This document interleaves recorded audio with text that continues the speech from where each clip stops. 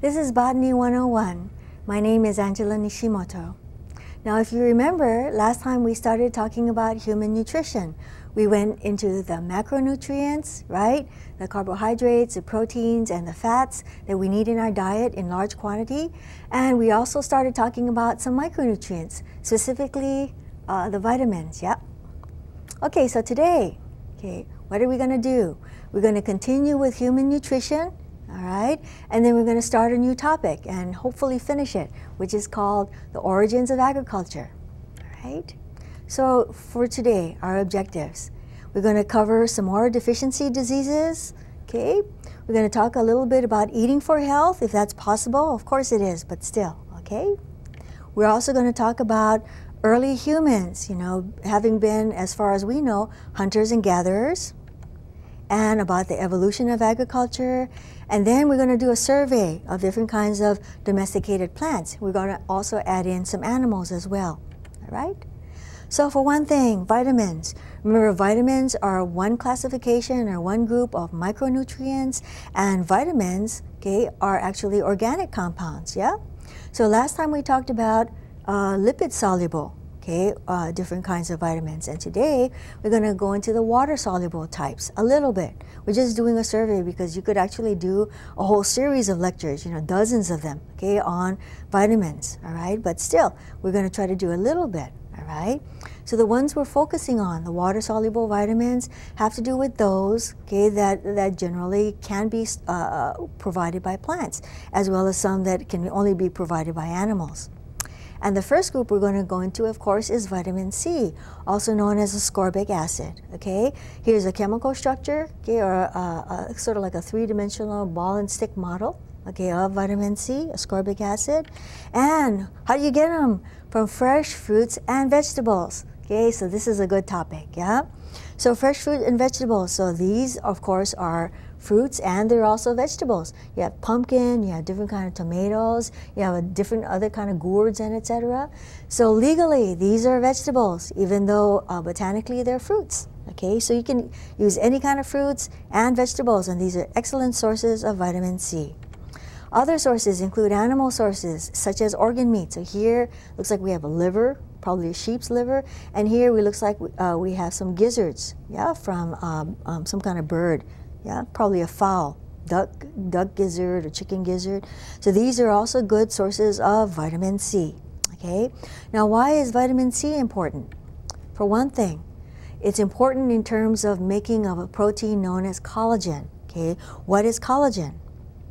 Collagen is like cellular cement. It actually helps anchor one cell to another okay? And if you know and if you don't have this okay uh, you can have some very bad ramifications on your health. This is also part of the matrices you know or the uh, stuff in which you know cells of bones and teeth and cartilage are embedded Okay, so those are the matrices of these formations. They also have to do with elasticity, okay, of the blood vessels, ability for it to uh, contract and, you know, release, you know, so it can actually be elastic. It can go from one form, can be stretched, and then come back together again, as well as the elast elasticity of your skin. So I guess that has to do with your um, epithelial cells, okay?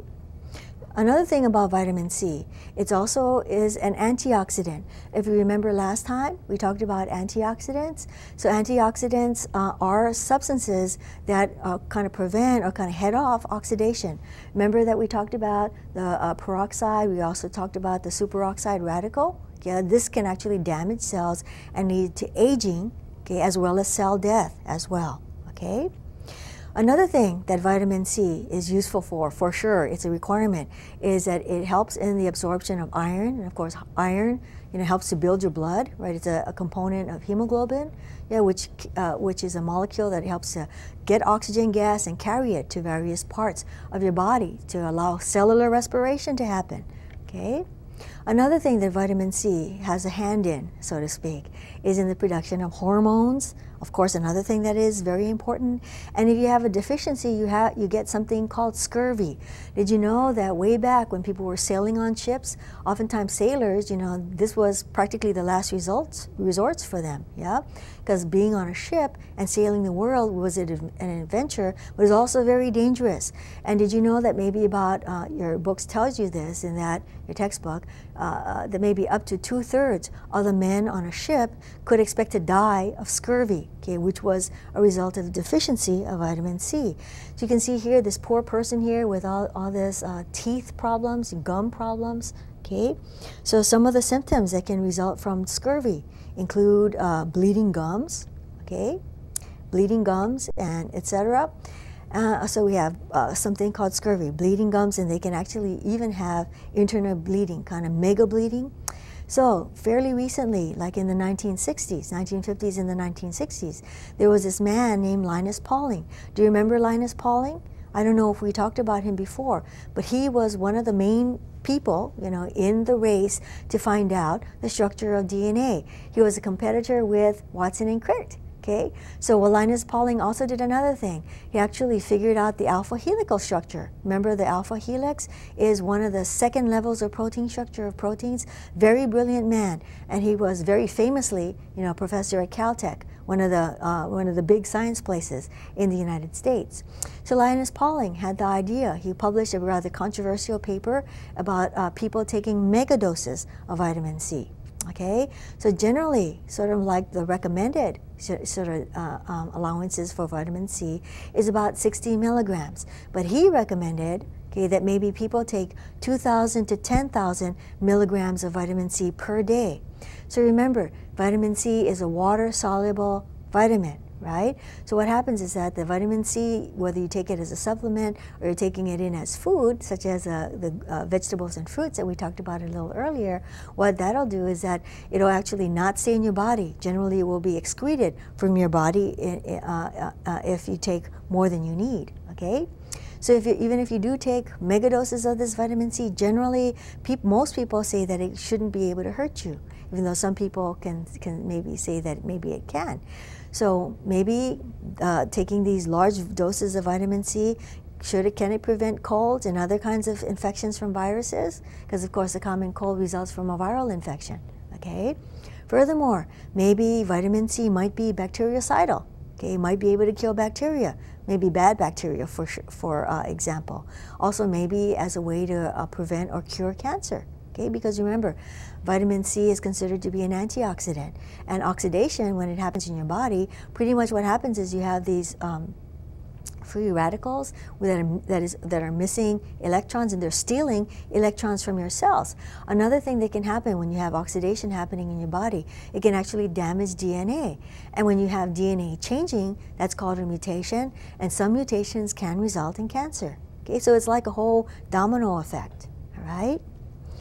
Okay, so then, okay, so that pretty much wraps up what we want to know about vitamin C.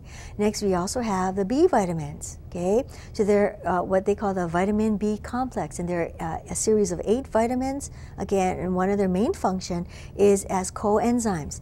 They're necessarily, they're necessarily in the cell okay, to allow enzymes to do their work.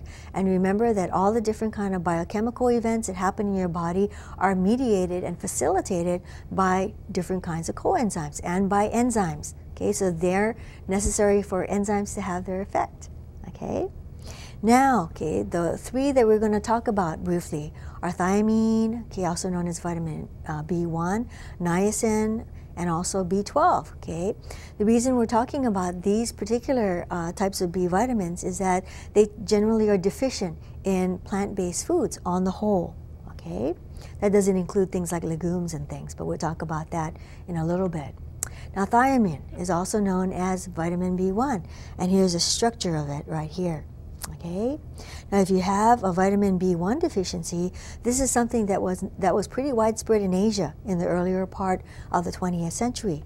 Okay, because thiamine, vitamin B1, is instrumental in the breakdown of carbohydrates during cellular respiration before the Krebs cycle. Okay, that allows for the breakdown of uh, the sugar molecule. Okay, so by the time it's after glycolysis, before it goes into the Krebs cycle, you have the breakdown of this. Okay, so remember, you only have a two carbon um, molecule that goes into the Krebs cycle, and then furthermore, that is completely broken down during the second part of cellular respiration, known as the Krebs cycle. Okay. So if you have a deficiency of the thiamine, so this is essential okay, for respiration in your body, aerobic respiration.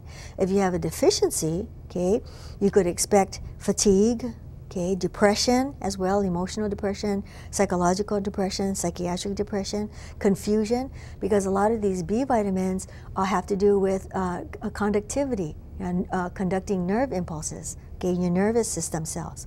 Okay, confusion, you can't think straight, you get confused, also cramping, okay, burning and numbness in your legs, edema as well, and it can actually lead to an enlarged heart, eventually leading to death. And this is some, a syndrome known as beriberi.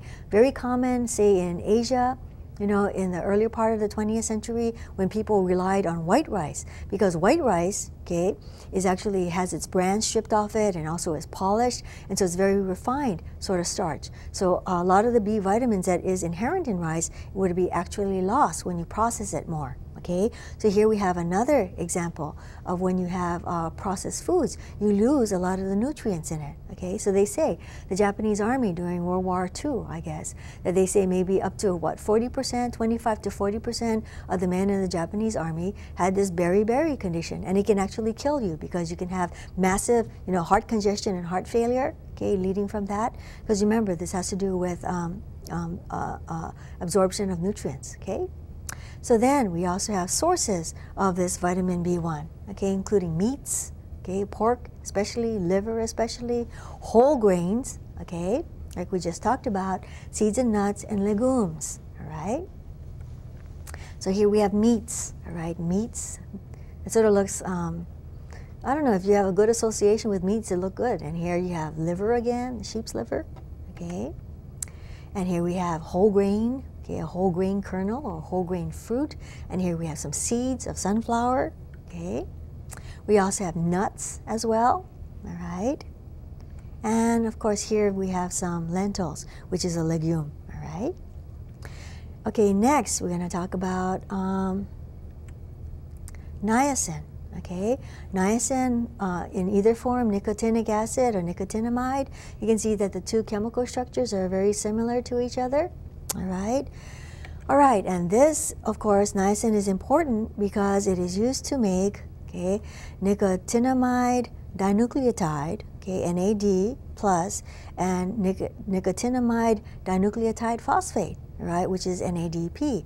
If you remember in both uh, photosynthesis and cellular respiration, you have these as electron carriers, okay, so there's very important for energetics in our bodies, okay.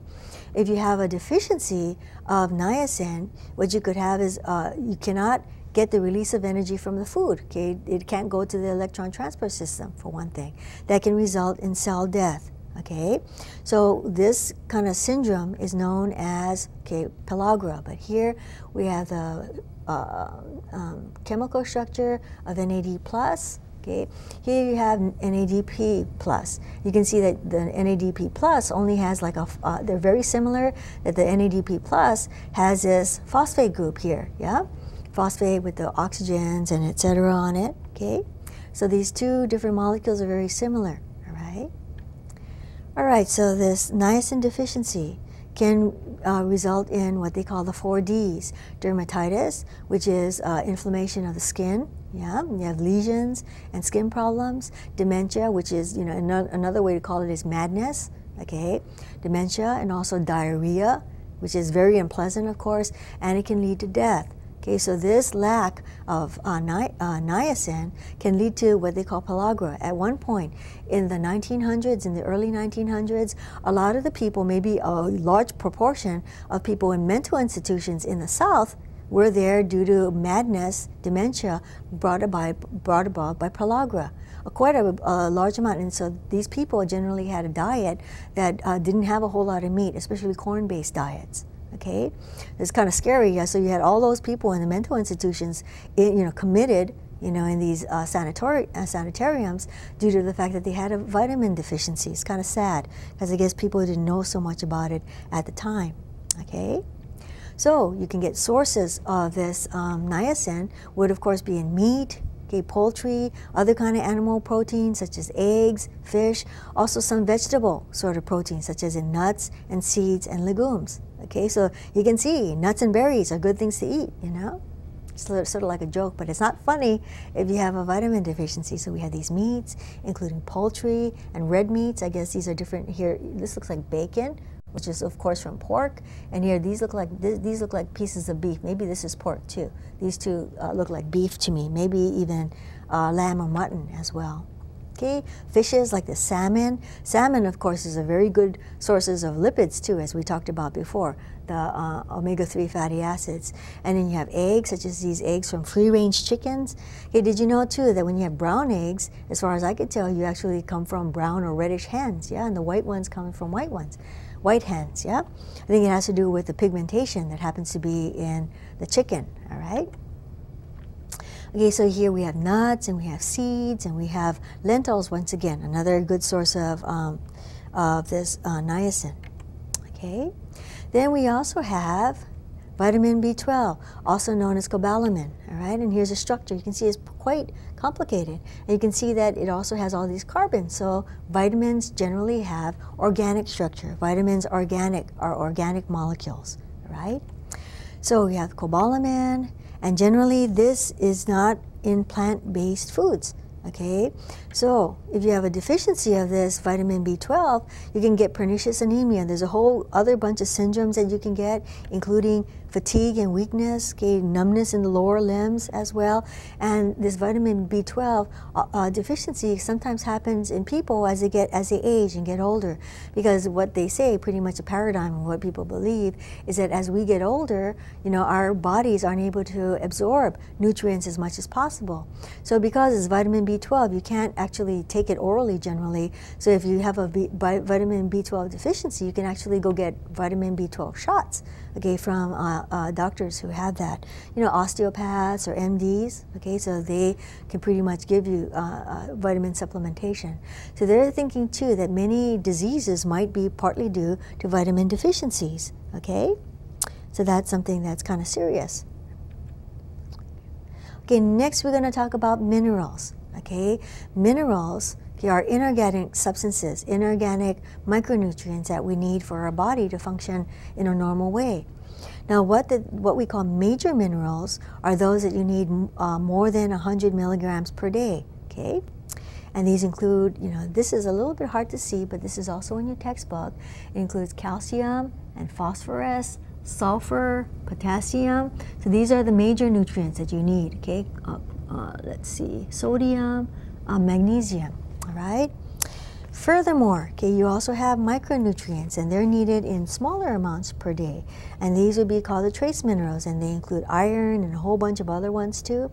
If you go to a naturopathic doctor, sometimes what they'll do is they'll take a hair sample from you, like from the back of your neck. Some, uh, if you have long hair or if you're female, uh, everybody's kind of fussy about their hair. So they usually take a little sample from the back of your head, they'll send it to a lab and what they'll do is they'll analyze your, uh, your sample of your hair to see what kind of nutrients you have too much of or some other kind of indicators of health because sometimes you might have high copper, low zinc, or what they'll do is they actually measure proportions of different nutrients that you either need or maybe have too much of, okay? That's a good way. I think that it costs maybe uh, more than $100 to do it, but if you're into nutrition and if you have certain disorders, that one of the, one of the things you want is a balance, okay, in terms of different kinds of things. So sometimes if you have a, a deficiency in sulfur, you know, which is pretty important for protein productions and etc., Okay, they might uh, tell you to maybe take more egg yolk, to eat more eggs and other good rich sources of sulfur in your diet. So it can be useful, okay? If you have uh, if, you, if you're able to go get a hair sample analysis. Okay, so naturopathic doctors and maybe osteopaths might do that. Okay, alrighty. So major minerals. The one we're going to go into has, happens to be calcium. So this is something that is very important, of course. All these different nutrients are, of course, very important for normal functioning of your body right? Calcium, most of the calcium that you take in is deposited in, in bones and teeth. Remember that we talked about last time that you actually uh, build and uh, break down bone all the time. Okay, so you have bones, uh, uh, bones and teeth as where you have most of your calcium, and also phosphorus deposited as well. Okay. Now another thing about this too, you also have a level in your blood calcium in your blood as well, but a very small amount of calcium in your body is in the blood. Only about 1% is in your blood and tissues, okay? Another thing too, okay, that, that um, so here you have blood and tissue. So you have red blood cells here, okay, over here. You have some white blood cells here too, okay? And you also have, uh, these are cells, okay, and tissues. There's an image that we could find for that. Okay, another thing about um, uh, some of these minerals, such as calcium, it's a cofactor. So what is a cofactor? It's like a coenzyme. It's a substance, in this case an inorganic substance, that uh, can be used by your body to help facilitate the actions of enzymes in your body, all right? Now, if you have a calcium deficiency, so this is one thing that women of a certain age, if you're getting to be in perimenopause or in menopause, especially after menopause, which happens when you're, you're, you're not anymore reproductively able to have children, Okay, that's sort of like a conundrum. Anyway, so if you have a deficiency, that can lead to something called osteoporosis. Okay, osteo has to do with bone. Porosis literally means pores or holes in it. So what can happen is you can get all these um, like uh, uh, open spaces in your bone. All right, and that can lead to fractures. All right, so if you're a female who's in your 40s or getting into your 50s or into your 60s, and you're going through menopause, one of the things they say is to make sure you have supplementation. Okay, of calcium. Also make sure you do weight bearing exercise because what you're going to do, you're going to build up your muscle, you're going to build up your bone, okay? And if you build up your bone, less likely that you'll have fractures. People, women who are postmenopausal, they have a, uh, and, and, and if you, you have a balance problems, you can actually fall down and break your hip. And, and this is something, a fracture that is common among women who have osteoporosis. Not only that, places like your wrists as well, where the bone can thin and you have this porous bone there, you can actually be susceptible to fractures. Of course, it's painful, but another thing too, that they say that if you have a broken hip, you know? You know your mom or yourself or your grandma you know people in your family your aunties who are going through menopause if you fracture a hip they say that it statistically increases your chance of dying you know, within the next couple of years if you fracture your hip. So this is pretty important things, you know. All of us, we all want to live nice long lives, but all of us also want to live nice long healthy lives as well because old age is no fun if you're in pain all the time, okay? So if you take care of your body now, Okay, you take care, you make sure you take or you have enough vitamins and supplements in your diet. Okay, eat a variety of food, which we'll get into later. Okay, you'll be a, you'll be healthier. Okay, as you get older. All right.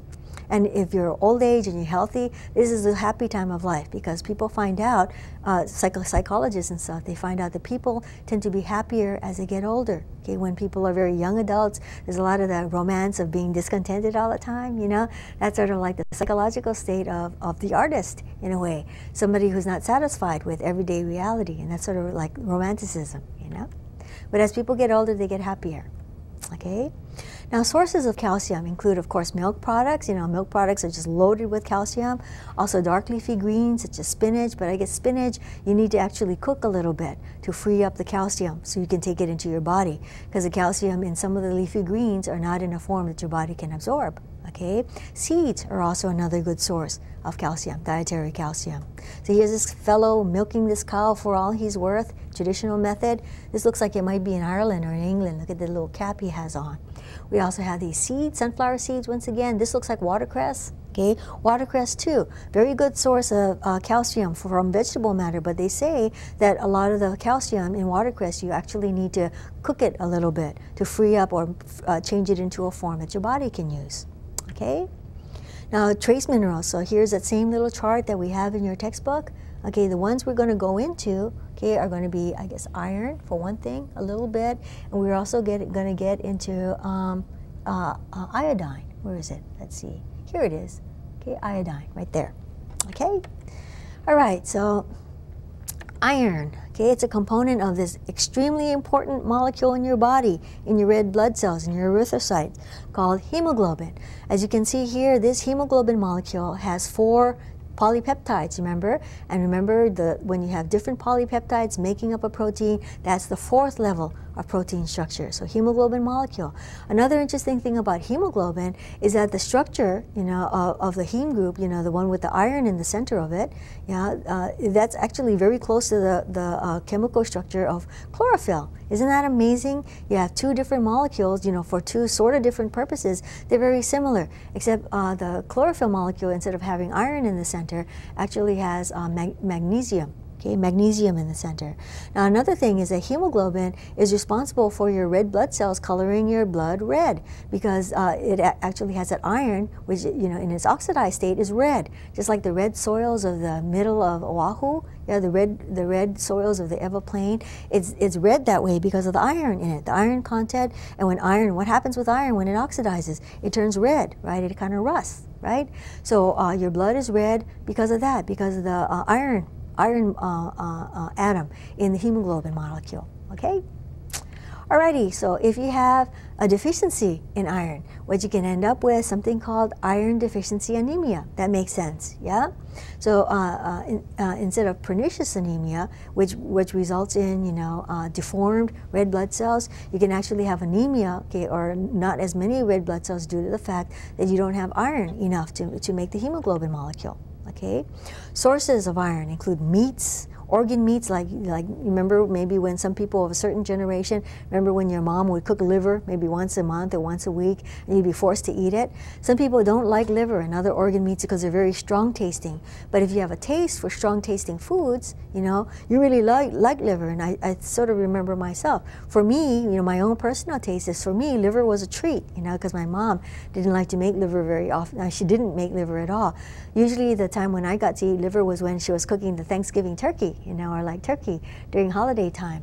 And then for me, what would I what would I do? I would actually get the liver, you know, and the gizzards and all those other organ meats, and I would kind of, you know, we usually put it in foil, put a little uh, olive oil or before that butter on it, and salt and pepper it, and whatever else kind of spices you put on it. And then for me, that was a treat. So I usually was the one in my family to eat the organ meats and would share it with our dogs or with the cats, you know, depending on what kind of pets that we had at a particular time. So for me, I really like organ meats, even though some people, oh, you know, they don't like the taste of it and they, they think it's kind of gross, you know. But I myself, I like organ meats. That's just my particular taste. Okay, shellfish as well, such as these mussels. These look like mussels. We have fish. Okay, we have liver, and then we have the, that gizzards again. Okay, good source. Okay, of iron. All right. We also have things like, um, let's see, dark leafy vegetables. Okay, Dried fruits as well, a good source of iron. Did you know if you have dried apricots, raisins, pr uh, prunes, which I guess is dried plums, right? And those are really a, also a good source of iron. Okay, legumes as well. So here, one of the themes that we've been seeing is legumes, very good to eat. Okay, if you want to have a vegetable-based diet right? Legumes, which you're going to go into in a later chapter, okay? And also we have the whole grains as well, breads that have been enriched with iron. So usually you have iron uh, uh, enriched flours, okay? Like white flour has enriched enriched with iron and other some such like that. We also have cereals, you know, like some, some of the sugary cereals have, have actually been enriched, okay, with iron. Okay, so here you have the leafy greens. In this case, it looks like watercress again. Here we have the lentils once more. So lentils, you know, different kinds of beans. Very, very good to eat. Very good to eat. Okay, especially in combination with grains. Okay, beans and grains, very good source of proteins and other sorts of things. And here you can see that they're also a good source of minerals as well. Okay, all right, now uh, another trace mineral. So this is um, the iodine that we talked about. And the reason why we're talking about this iodine, okay, is that it is important and it can have some kinds of implication. Now iodine is necessarily for regulating uh, hormones that are produced by your thyroid gland, okay? So your thyroid gland is like a little butterfly shaped structure here that is kind of right over your throat, right over your vo voice box, okay? And then on top of that, you have the parathyroid, okay? Para just means on the side. It's like a paramour It's sort of like a lover on the side, you know, sort of like that if you're, if, uh, when you think about the, uh, the history of that. So para means on the side, okay? Anyway, so you have the thyroid gland, and that is necessary because your thyroid gland regulates your metabolism. Okay, and what is your metabolism? If you remember the definition of metabolism, that is all the different kinds of chemical reactions going on in your body. Okay, so this is like one, of what, uh, all your glands are necessary, but this is very important, okay? Very important, your thyroid, okay? Alrighty, uh, so people can be hypothyroid, where their thyroid uh, functions lower than is normal. You have hyperthyroid, okay? So that actually does regulate your body's metabolism, the way you use fuel, burn fuel, and etc okay? So if you have a thyroid deficiency, what can happen? Just like this poor lady over here, you know, she, obviously she's suffering. What can happen is that if you have a deficiency in iodine, your thyroid doesn't function. It doesn't actually put out the thyroid hormones that are necessary to run your metabolism. So what happens? Your thyroid gland enlarges okay, because it's vainly trying to produce more thyroid. So this is a lady, looks like she might be from hill country, maybe we can assume in Asia, because, you know, even though we in the, in our, you know, in the United States and in Europe and in other, you know, what they call first world countries, we tend to have iodized salt. They actually add iodine to, or they have iodine in salt, so we get ample amounts of iodine. But people who live, especially in mountainous areas, because iodine is a constituent of the soil, but if you're in high elevation, what happens is that the iodine actually washes away from inside of the soil and goes to low level areas. This is one reason why people who live in hilly areas, especially if they don't have, you know, iodized salt, they can actually get this goiter and it looks, you know, it looks horribly uncomfortable. Clearly this poor lady is suffering, you know. So, uh, and of course, another thing too, since it uh, wrecks or actually uh, kind of runs off and not allows your thyroid to function normally, what you have is you have an enlargement of the thyroid gland, so you have the swelling in the neck area. So you can see it's a deformity as well, you know? And you know, people who live in third world countries, generally a lot of them don't have access to medical care. And of course, these, these people oftentimes are poor as well okay? It just happens to be a, uh, a mineral deficiency in people's diets. So how do you actually get foods from the ocean, notoriously all foods from the ocean, whether it's animal-based foods or if it's plant-based foods, okay? Those are good sources of iodine. So here, we're lucky again that we live in Hawaii, because in Hawaii we have a good selection of seafoods, even though, of course, seafood is also very expensive. So here you have crab. You ever go to a luau or someplace like that and you have raw crab, yeah? I remember, I think, a, a, a friend of my father's took uh, our, us kids out on a boat out in Kaneohe Bay, and he actually caught this little crab and he broke off, the leg is waving, you know. He broke off its leg and that was the first time I had raw crab. It does taste pretty good. It tastes sort of like raw fish, you know. Felt sorry for the crab with his, you know, legs waving around like that. But still, it was pretty good. And you have sea urchins, I'm not sure, you know, um, so you have the crustaceans like crab and lobster and shrimp. You have um, sea urchins, echinoderms like this. And what do they call, be people call it vana, yeah, the gonads of the sea urchin, you can eat that too. And you have here seaweeds or limu, you can eat that too. All good sources of iodine. So the best way to get your vitamins and minerals is from eating various foods, varied kind of diet, okay? And here you have sushi with fishes and different different kind. Here you've got shrimp, okay, got uh, uh, look like eel, unagi, or other other sorts like that. Very good source. Uh, so if you need, if you, if, uh, so we get ample amounts of uh, uh, of iodine in our diets if we eat some seafood. Here it looks like we have oysters as well, raw oysters, kind of. Anyway, so good sources. Okay, now so, so what do we make of all this? Some of the things that we've been talking about. So we've been talking about deficiencies and etc. So a good way to balance your diet, okay? Eat a variety of foods. That's the best way, you know, through your foods to get all the nutrients you need. And so here we have all this wonderful, wonderful looking produce and vegetables at a vegetable stall. And also you have fruits as well. So doesn't that all look good? Doesn't that make you feel like you want to eat all these things over here? Yeah? Fruits and vegetables, okay? Also some meats. Remember that generally a serving of meat, okay, you only need about three ounces of it. You don't you don't need to eat uh, eight ounce steak or a uh, one pound steak, uh, a 12 uh, ounce steak or anything. That's too much. Okay, so one of the good ways you can take care of your body is to, to get a variety of foods, but not too much of certain things. Remember, because meats are actually a good source of saturated fats, implicated in heart disease and other other some such like that, including even some cancers. A diet very high, especially in fatty meats. Okay, there's a correlation between that okay, eating a lot of saturated fat, and cancers as well, okay? Eat whole grains, whole grains if you can, okay?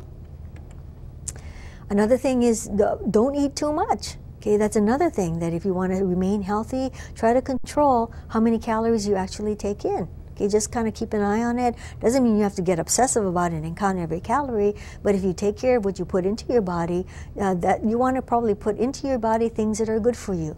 Okay, you can think of foods as either good for your health or not so good for your health. Okay, another thing exercise. Okay, this is actually good for your mental state as well as for your body. If you like to exercise in the morning, it's a way to kind of clear the screen and get yourself ready for your work day.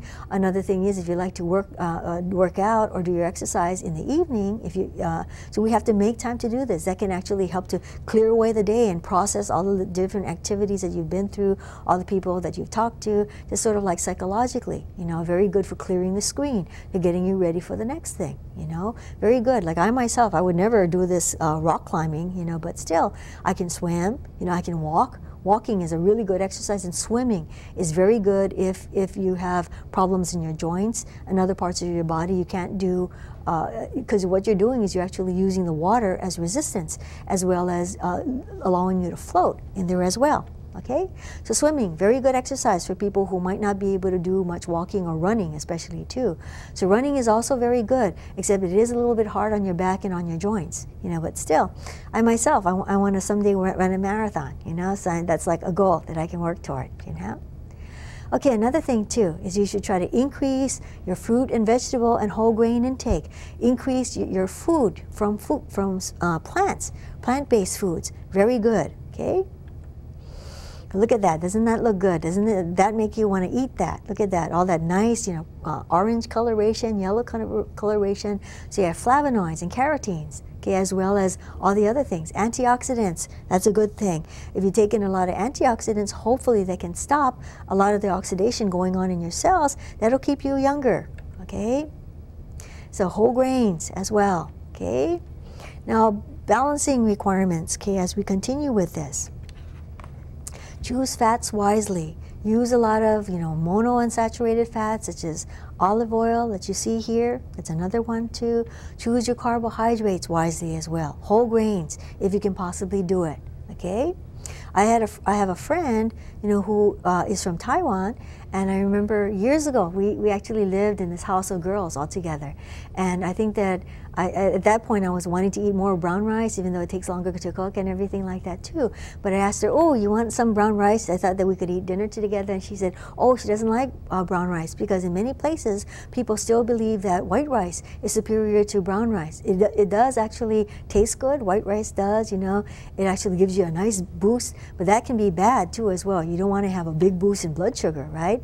So uh, brown rice is actually better for you. And, people from other places, like uh, especially from Asia, still they still have a little bit of a bias toward white rice for sure. But still, uh, maybe things will change worldwide, and you find out you have more of the bran, more of the germ and everything in in uh, brown rice than in white rice. So it actually doesn't allow that spiking in your blood sugar as much as white rice does. Okay, so brown rice is better. It is actually better for you. And you, you can actually learn how to cook it. It's not hard to cook. You probably, you can even you cook it in a regular rice cooker as well. It's pretty good. And when you get used to eating it, you know, I myself, I, it's a funny thing that even though I, am local and from Hawaii, that I, I don't care for rice that much. And even if I go and take takeout, usually if I go to a Korean, you know, takeout place, I'll ask for a vegetarian plate without rice. So I know for some people going away to school, one of the things they remember is, oh, they miss their mom cooking the white rice for them, you know, but still, you can actually start a new tradition in your family and eat brown rice, which is healthier for you. It also has a fiber in it. More fiber in it move things out fast, you know, that can uh, maybe lower uh, problems for mutations in your gut, you know, in your intestines and such, colon, you know. Okay, another thing is that hopefully choose and make food or make your meals not with too much salt. Try to use as little salt as possible because most food have plenty of salt in it naturally. Okay, sodium chloride, right?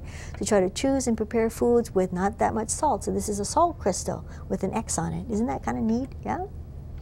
Okay, so another thing, if you drink alcohol, Drink moderately, okay? No more than two glasses a day or, or the uh, alcoholic equivalent to two glasses of white wine uh, or red wine a day. But doesn't that look good? Look, at doesn't that look good? And it's from this delicious looking uh, grapes here, you know? So I can see, you know, the pleasure in wine drinking, beer drinking, you know, mixed drink drinking, you know, but still at the same time, if you do it in moderation, it's not bad for you. They even say that it might be good for your heart, okay, if you drink a little bit, like one glass of red wine a, a day, that would be good. But make sure you don't actually fill the glass up, you know, all the way up to here. That's more like two drinks, yeah? All right, another thing is that for macronutrients, remember the protein, carbohydrate, and fat that you take in? Okay, so you should take in maybe about 45%, maybe about half of your calories in carbohydrates, especially if you do whole grain sort of thing. Okay, maybe not as much protein as most of us eat nowadays. If you go through the drive-through at the at the different fast food restaurants, even then they're giving you way too much meat. You know, that's not you don't need that much protein. Okay. And also you want to have some fat in your diet too. You don't want to eliminate that totally because you do need this. You need all three okay, to have a balanced diet. All right, now we also have alternatives. Okay, you can actually go meatless. Okay, usually when they say meatless, most people consider more like red meat, such as uh, I guess beef and pork. Even though I know that there's an advertising campaign going on that they have something like the other white meat, and they're showing you pork. Okay, but most people uh, most people will consider pork to be like a red meat. Yeah. Okay, so meatless alternatives. You can be a lacto vegetarian. That means that you have milk products. So doesn't this look good? This nice salad, you know, and these here like chunks of cheese. They look like maybe blue cheeses. That could be quite delicious. You know, this is a really balanced meal because you have grains as well. Yeah, so the lacto -veg vegetarians, okay, they eat milk or milk products as well as eating uh, uh, uh, vegetables and fruits and grains. Okay, plant-based diet with a little bit of milk and milk products. That's a good way to go okay? As long as you can digest milk and milk products. They say that if you have lactose intolerance, then you don't actually have lactase, which helps to break down the lactose, right, with your enzyme lactase. If you don't have that, one of the things they say might be better for you than uh, cheeses and such made from cow's milk, you can eat goat milk sort of products, okay? That can be good too, you know? Uh, goat cheeses, feta cheese, that's delicious, isn't it? It's one of the best things about eating Greek food and other Mediterranean and and uh, Middle Eastern diets. That doesn't that sound good? You know, nice salad, you know? You also have lacto-ovo vegetarians. They eat milk products, okay, they eat eggs, and they also eat, you know, all the different kind of plant-based foods. That's another alternative. Okay, so both of these are pretty healthy as long as you don't overdo uh, the milk products. You know, don't eat like a whole chunk of cheese. Don't eat like two pounds of cheese a day or something. That's too much. Anyway, but these are pretty good alternatives, yeah? Just as long as you're, you're not allergic to milk products. And vegans, vegans are people who are totally vegetarian. I myself have been wanting to become a vegan for probably years and years, probably over 10 years. But something, you know, people's metabolisms are different. There are some people that can really subsist entirely on vegetable kind of foods, and they don't even eat occasional chicken or fish or eggs or milk. They're like total vegans, you know? So that's something I aspire to, okay? But it's, it's always good to have a goal, you know, something that you want to eventually do with your life, you know? It's always good in your life to have goals, and that's one of my goals, to become a vegan and a good vegan cook. Now, the uh, concept of nutraceuticals, okay? Nutraceuticals sort of approaches that you actually eat foods Okay, you actually will eat foods and you eat these foods with the idea to eating foods that are good for you. So like, like it's a combination of nutrients and pharmaceuticals. You're eating different kinds of foods to keep yourself as healthy as you can be, okay? Anyway, so nutraceuticals, this is something that is a fairly new concept, maybe in the last 10 years, okay, where people go to the health food store, they buy as much organic foods as possible, they really look eh, eh, into kind of looking at their body really as a vessel that houses, you know, their, their emotions and their brain, yeah? They also look to actually giving their body good things to eat. I have to confess that myself, you know, every once in a while, I'll go to the drugstore and I'll buy like three candy bars and I'll eat that, you know. That's not good, you know, that's not good for the sugar content, but also for political reasons too, which we might talk about a little bit later in the course. But still, you know, if you eat a variety of food, if you kind of eat stuff that maybe not so good for you, but you have a craving for it, if you eat a little bit of it, that's okay. I mean, like if you eat maybe a couple of candy bars, maybe once or twice a month, that should be all right, you know, just moderation in all things, even in vices, you know. Another thing too, eating like one candy bar every couple of weeks or something like that, uh, as long as you don't have you know problems with uh, with your blood sugar problems like that, that can be okay. But it's better than you know getting a two, two pound box of chocolates and eating it within a week, you know, because you know that's kind of binge eating. That's not healthy. Okay. Anyway, so that sort of wraps up what we want to know about the um, the human nutrition. Our next topic that we're going to get into is we're going to talk about the origins of agriculture and early human history as far as we know what goes on because I didn't live, you know, as far as I know, you know, in the early history of human beings on the earth. So I can't say for sure, but we have, you know, sources, we have archaeology, we have paleontology, even going even back further, you know, and we can kind of derive and infer sort of certain sort of conclusions. Okay, so that's what we're going to get into next. All right? So, so we, our, our, our species perhaps has been around for maybe about 400,000 years, okay? Our particular species, Homo sapiens, subspecies sapiens, okay? There was also probably another bunch of Homo sapiens, which I think they called Homo sapiens neanderthalis, all right? Early humans, were probably hunter-gatherers. Another word for hunter-gatherers are foragers. So what did these people do? Okay, the gatherers tended to gather wild plants, plants from the wild, and some other wild plants that we now use are uh, some fruits okay, from wild plants. I think this is pawpaw, okay, which is uh, native to the Americas, to the New World. So this is actually a wild plant. I guess they call it pawpaw, and sometimes they call papaya pawpaw too, but this is actually a different species. Okay, it's supposed to be very delicious, like custard apple, sugar apple, which we don't really have that much here in Hawaii, but very, very sweet fruit it has. Dandelion green, some people still uh, eat some of this. You can eat the greens, you can make wine, of course. Speaking of alcohol, uh, alcohol, alcohol, you can make dandelion wine okay, from this plant also. Okay, so hunter-gatherers would gather wild plants, which they would have gotten most of their caloric values from, mostly wild plants, and maybe some hunted animals as well. So here's like sort of like a prehistoric uh, image okay, of uh, a, a, man with a, a bow and uh, hitting uh, some kind of a ruminant, a deer or something like it, or an antelope, okay, with an arrow. Okay, so the people, early humans, are thought to have been hunter-gatherers, also known as foragers. Okay. And so uh, about 10,000 years ago, okay, this way of life. So for from about 400,000 years ago until maybe 390,000 years ago. So about 10,000, 11,000, 12,000 years ago. Okay, a lot of people all over the earth, because of course our species had actually dispersed, okay, out of Africa, okay, dispersed to various corners of the globe, as if a globe could have corners. But talk about cliches. So we have hunter-gatherer eventually kind of becoming farming, okay, farming, and this, of course, is something that we call agriculture. Okay, now let's kind of head back to hunter-gatherers and people who we call hunter-gatherers now, some of them. Okay, so here you see an, uh, agriculturalist. This is probably in Southeast Asia somewhere. I think it's in Indonesia, maybe in uh, uh, Borneo or Java, not exactly sure. But this looks to me like a water buffalo. Yeah. So they, uh, here you have a domesticated animal being used to uh, till the field. Looks like they're plowing. Yeah, plowing the fields. Okay. Anyway, so um, foraging peoples that live now and what they eat. Okay, so some of them, some people have a meat-based diet, like the Inuit, and these people live, of course, in uh, the Arctic regions. Yeah, so this is a Inuit woman, an Inuit lady, and they have a really strongly meat-based diet. Okay, they eat seals and they eat walruses and they eat whale meat, right? Lots of fat. Because here they are, way, way here in the north. It's very, very cold where these people live, okay, have lived and live now. Here you are around Greenland. Here you have in the Arctic area, northern Canada, northern Alaska. It's very cold there. Yeah. So one of the things you notice too is that this lady here, she has a, a round face. So maybe people who live in these regions, they have just evolved by natural selection a lot of fat on their bodies. Okay, and that kind of helps to insulate them to kind of keep them warmer, right? Anyways, uh, some have a meat-based diet, like the Inuit. Okay, and there are still Inuits that live in various places. Okay, in the Arctic regions.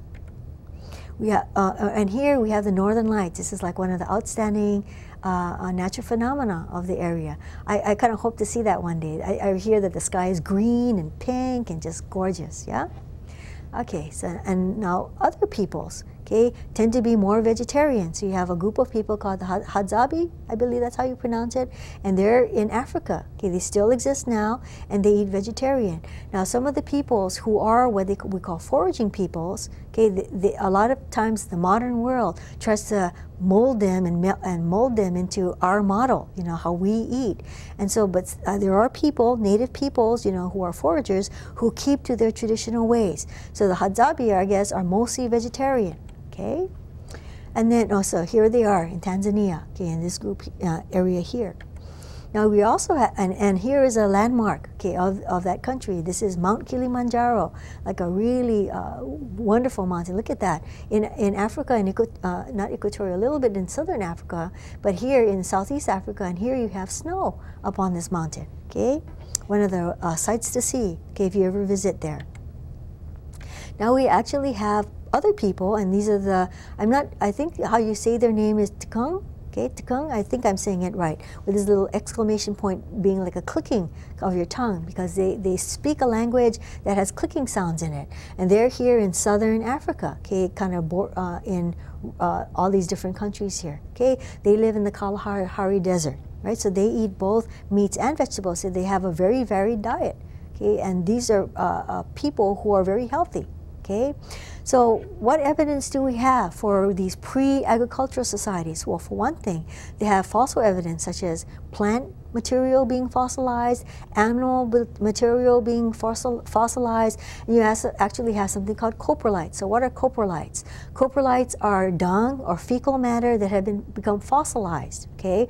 So what do people do? Paleontologists and archaeologists, or I guess paleontologists, what they will do is they will find these coprolites, human fossilized feces, and they'll analyze it, actually pull it apart, and they'll look for uh, pollen, they'll look for plant material, they'll look for animal material, they'll look for remnants like crystals and such that are like microfossils inside these uh, fossilized fecal matter. Very important.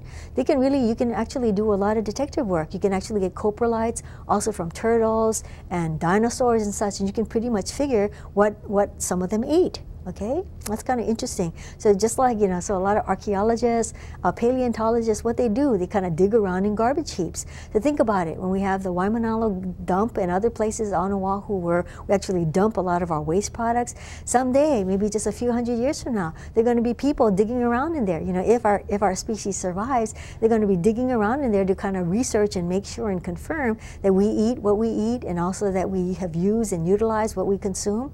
Okay, think about that. So these now, these are actually the good old days. This is going to be the past. You know, way in the future, this is going to be the past. Okay, and there's that song I think by Carly Simon, and she says these are the good old days. That's where you can actually become a happy person when you think you're actually making the good old days now. So we might think, oh, I remember when I was a student. Oh, those are the good old days. Me and my friends, we did all these things, you know. But these are the good old days now. Okay. The past doesn't exist and neither, neither does the future. Now, another thing that they find out is that these peoples, you know, these pre-agricultural peoples, they had a very varied um, plant diet, okay? They had lots of plants that they ate, all right? So people, including the uh, okay, so they've actually inhabited the Kalahari Desert for the past 10,000 years. When you think about deserts, you think about dryness, you think about wasteland sort of thing, but these people are very resourceful. They've been one, they've been in the Kalahari for at least 10,000 years. They also eat more than 100 different kinds of plants, okay, different parts of them, including, I guess, fruits, including, including root tubers, uh, stem tubers, including the greens from it, including like whole plants. So they eat more, you know, they get their plant foods from more than 100 different plant species. Do you know in our modern diet, we tend to have like more, almost all of our calories from about 12, about a dozen different species?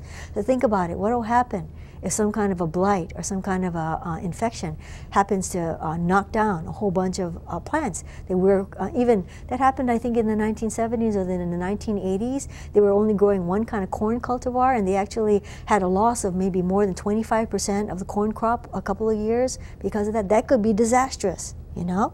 So if you actually rely on more than a few plant species, the more likely you are to uh, survive. And so these people, they know not uh, the Tikung, not only do they know how to what, what is edible, they actually know how to harvest and find plants that you might think are inedible and then process it to get any poisons that might be in it leached out and etc. Very ingenious. Another thing too is that plants actually comprise more than two-thirds of the calories in their diets okay, two-thirds of their calories. They also rely on 50 animal species, Okay, they have a very nutritious diet, very nutritious. So here's a man, a Chikung man, and here you can see that he has caught some kind of a fowl, like a chicken, a guinea fowl, and here he has some eggs. Okay, animal sources of protein. Okay, and so these people, they consume uh, over 2,000 kilocalories per person per day. Very nutritious diet, and they can get all the all their minerals and nutrients and everything that they need from their diet. Very good. And another thing too, Okay, the, uh, in many hunter-gatherers or foraging sort of peoples, generally the women are the plant people, the men are the animal people. That seems to be a divide that is pretty common, commonality, you know, among many foragers. Okay, that makes sense yeah, when you think about it. Because women, they, they need to carry their little kids and things like that, so that would probably make them better gatherers. Okay, men can be more mobile, you know, even though I'm sure that there are uh, fathers, you know, among among foragers that would take care of kids too, but I think women, because women could be nursing their children and things like that, that seems to be more like a so-called natural ones, uh, natural division of labor. Okay. Another thing, this is amazing and it's just uh, uh, kind of galling, is that modern foragers like the Chikung, they actually average about two and a half hours of work a week to get their food. Okay, con contrast this with our modern day where people are working 40 hours, 50 hours, 60 hours per week, you know, kind of, and so what the thing is, I think, who are the wise people after all, you know? So they only need to spend maybe two and a half hours per week to find and get their food whether they're gathering in the case of the women or hunting in the case of the men.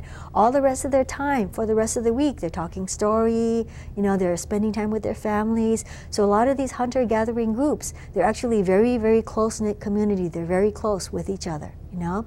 They have a lot of time to actually spend on their culture. Isn't that amazing? Yeah.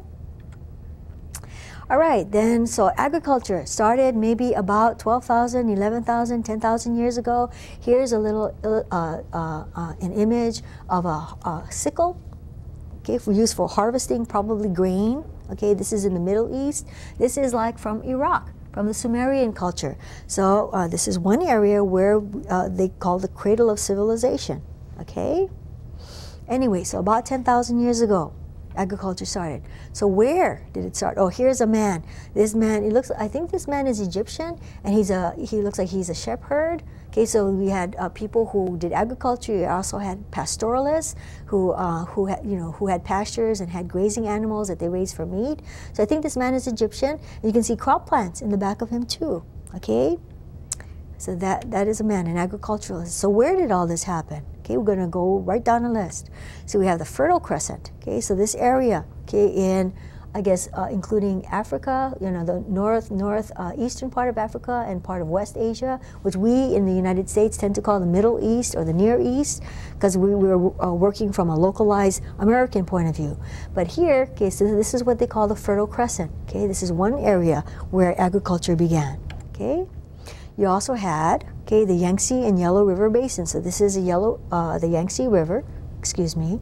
Okay, and this is in East Asia, okay, a place that we call China now.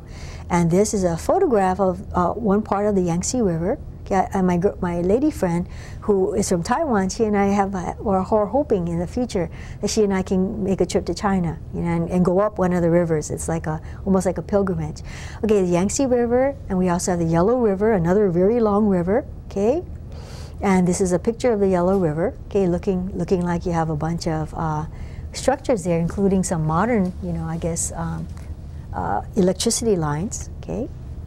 We also have the New Guinea highlands, so fairly recent evidence has shown that agriculture also sprang up in New Guinea, in the high areas of New Guinea, all right? And we have Mesoamerica, okay, including uh, parts of Mexico and Central America as well, another place, and also the South American highlands, all right, uh, where you have the Andes, okay, along here. Okay.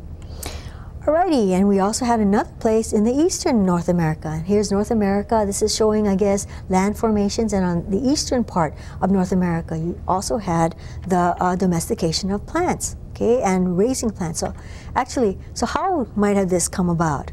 Okay, there's two theories. I think your, your textbook calls it uh, evolution, I mean, uh, revolution versus evolution. So some people believe, you know, I just have a, I just thought of, uh, brought a picture of Mahatma Gandhi or Mohandas Gandhi, yeah, just because he for sure was one of the most influential people in the last thousand years, I think. So, uh, so I just, even though he didn't have that much to do with agriculture, but brilliant sage idea is maybe brought about what they call an agricultural revolution. There was a brilliant person, either man or woman, not sure who, but this sage, very wise person, might have noticed about the middens. Middens are places where people dump their garbage.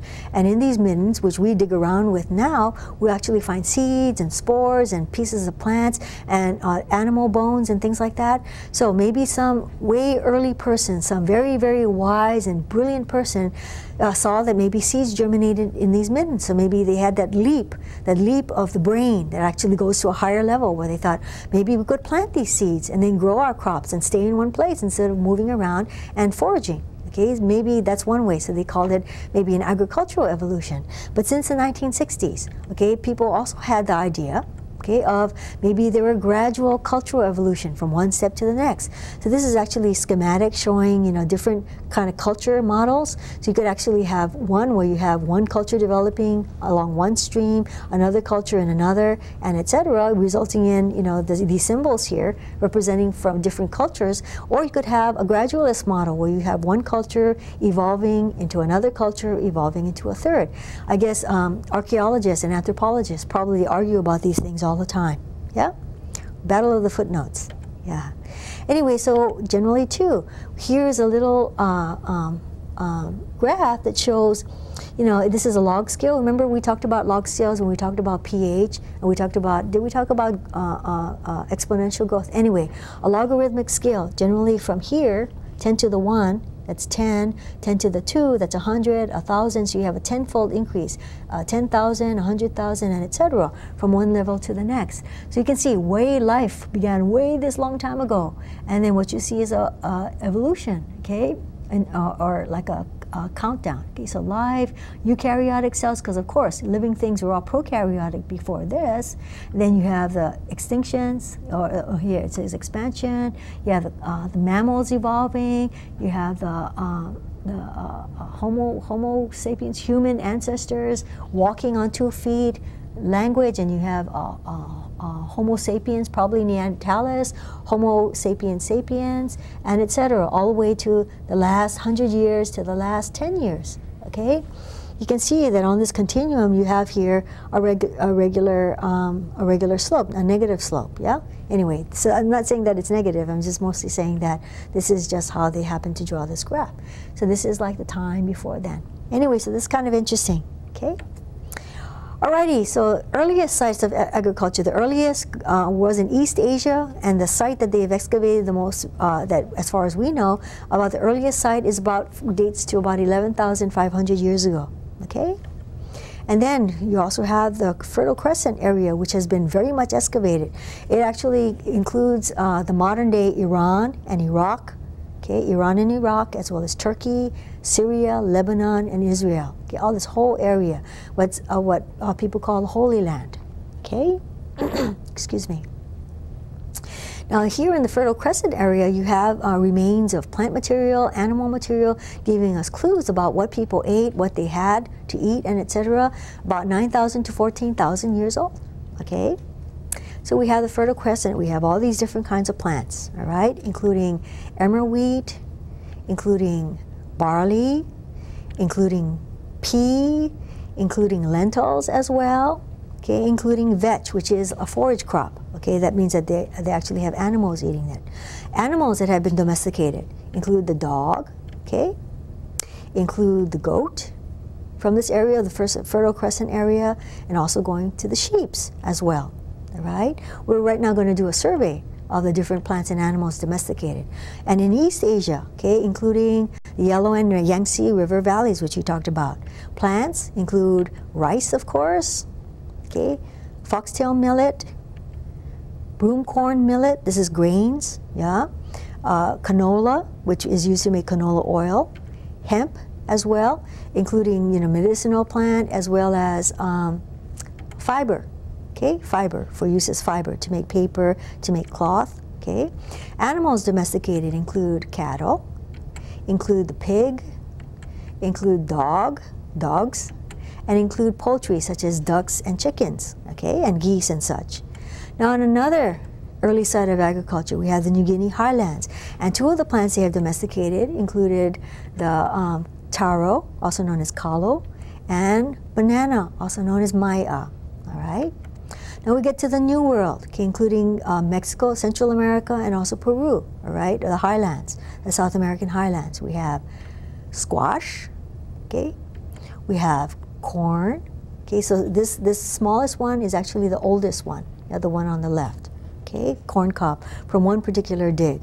All right. Chili peppers as well come from the New World. Uh, an amaranth, okay, which could be a hope to ward off starvation worldwide someday.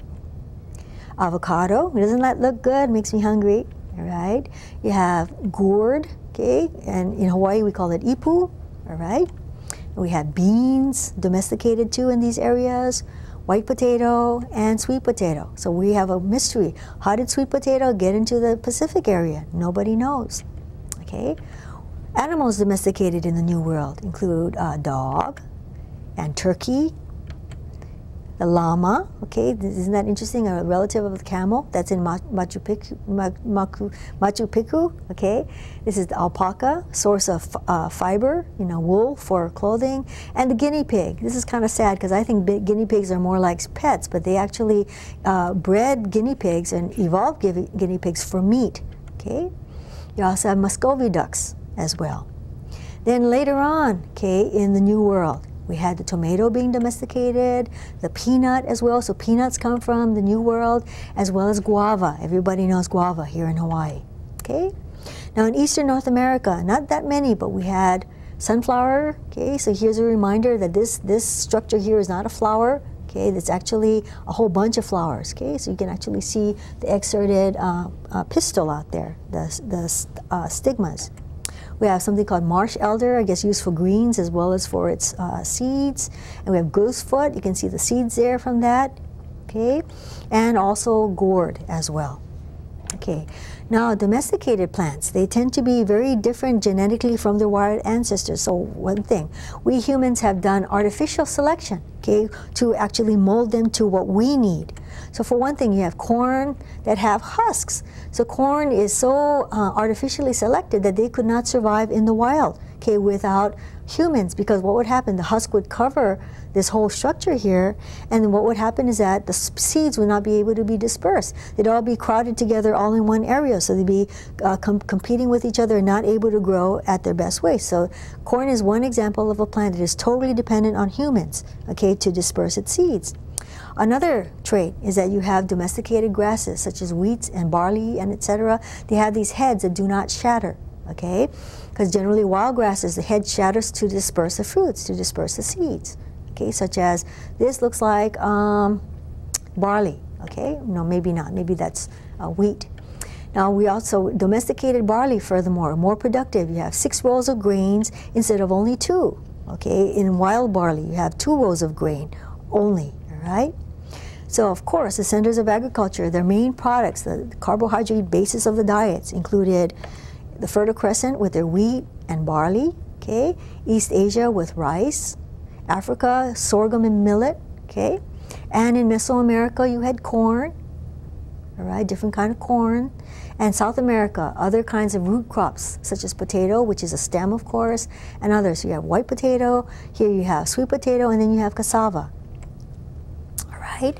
Now this fellow, Nikolai Vavilov, okay, Russian person, he proposed eight centers of origin. So you can kind of take a look at this drawing inside of your textbook, okay? So this, he proposed eight centers of origin where agriculture began, okay? Very brilliant man. Okay, very, uh, he was a hero. He actually died in a Soviet gulag de defending another prisoner okay, from the abuses of a guard. So they shot him. Anyway, so he was a real very strong, very uh, really something. So he traveled a lot. So, but so his centers of origin is sort of like one of the beginnings of systematically looking for biogeography, where certain plants came from. Okay, now, but but there are some flaws in some of his eight centers of origin. In that, Okay, some of the some of the crops are were domesticated more than once, such as and even dogs actually were domesticated in more than one place as well. Okay, so there are different places they were domesticated. Others from other regions, larger regions, not just from centers of agriculture, and some others came from other places instead of the ones that Vavilov thought of. Don't forget that he was a hero, though. You know, he really was. All right. Another thing is that cotton and cassava are different kind of plants that developed independently from each other. Okay, uh, independently developed in different places. All right, and so we have cassava and uh, cotton. Okay, in both Mesoamerica and in South America separately. Okay, now what do you think? Why are crop origins important? Think of that. In the event of a famine, in the event of an infection of some kind of a important crop, think about it. What if all the rice plants, you know, that, that in the world that we only grew one type, what'll happen? Okay, if you have a disease that attacks them, they'll get all wiped out. Okay, very, very scary because famine has happened before in various regions of the world all right? So we have to think, when we, we have a crop that has shown some kind of weakness or some kind of new pest or new insect has been infesting them, what do we need? We need to go back to the source. We need to go back to the source to get plants to breed with it so we can breed more new plants that have some kind of disease resistance or resistance to insects, okay very important because remember we in our modern day times we most of the people in the world depend only on about a dozen different crops to sustain them what happens if something happens to them mass famine starvation terrible terrible things okay alrighty so here we're going to go to the summary now all right so to summarize we talked about nutrition and about the idea of nutraceuticals because, of course, in our world, in the United States, many of us do have the luxury of, you know, eating for health purposes. Okay, that is a luxury. Most people in the world uh, eat to live. Okay. Okay, now the first human societies we talked about, perhaps hunter-gatherers, foragers. We also talked about the earliest uh, settlements in agricultural regions, a little bit, okay? We talked about domesticated plants and purported centers of plant domestication, and also that the past may be the key to the future. Therefore, this is very important stuff. Food, I mean, plants as food, very, very important. Alrighty, anyway, so that sums up what we want to talk about today and look forward to seeing you next time. Okay, hope you, you enjoyed this wild gallop, okay, through the early prehistory and history of humanity and our relationships with food. Okay, that's all for today. Goodbye.